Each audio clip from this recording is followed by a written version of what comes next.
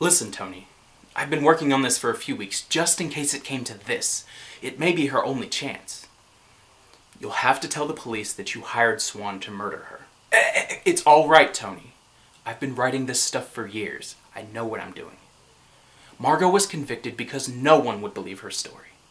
Prosecution made it out that she was telling one lie after another, and, and the jury believed him. But what did his case amount to? Only three things my letter, her stalking, and the idea that because no key was found on Swann, that she must have let him in herself. Well, now Swann's dead. You can tell any story you'd like about him. You could say that you did know him and that you'd met him and worked out the whole thing together. Now the blackmail. Swann was only suspected of blackmail for two reasons. Because my letter was found in his pocket, and because you saw him the day that Margot's bag was stolen. Ah! You, you could tell the police that you never saw him at Victoria.